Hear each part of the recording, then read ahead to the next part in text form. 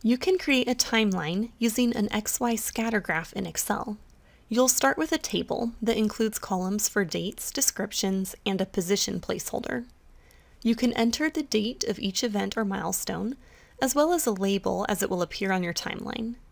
Your events don't have to be in any particular order in the table, but if it helps you keep organized, you could format your table as an official Excel table, and then you can sort the table by date. The position column will affect how far right or left each marker will appear on your chart. You'll probably end up adjusting this later, so to start you can just put arbitrary values between negative 100 and 100. When your event table is filled out, you can create the chart by selecting the date column and the position column, then go to Insert Scatter Chart and choose the option that doesn't have any lines. At this point, you have a horizontal timeline. To make the timeline vertical, you need to switch the X and Y axes. The easiest way to do this is by selecting the data series within the chart and editing the series in the formula bar. You can swap the order of the two references to put the date values on the vertical axis. Next, you can take a minute to clean some things up. You can delete the grid lines, both the vertical and the horizontal ones. Then for the horizontal axis, you can change the minimum to negative 110 and the maximum to positive 110. And then you can go ahead and delete the axis. Now you can add lines that connect the markers to the timeline axis. To do that, you'll select the chart and click the plus icon. Then choose Error Bars, More Options.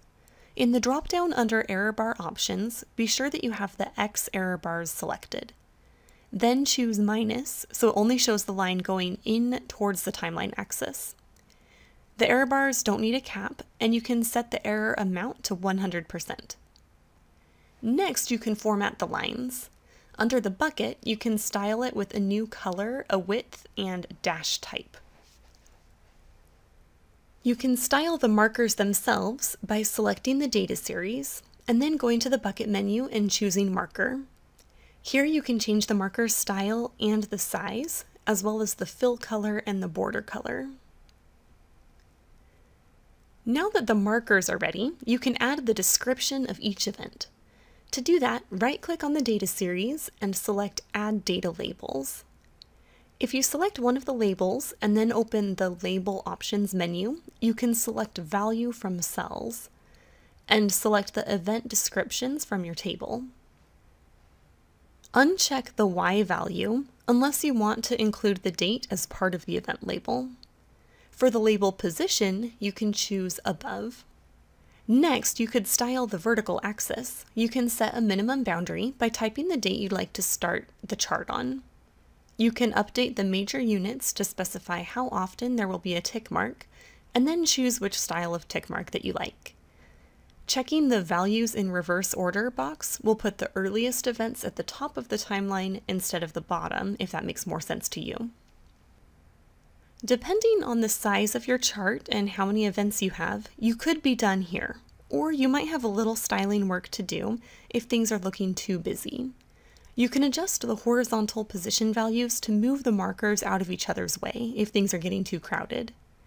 If you like, you can give the text a white background color with about 25% transparency.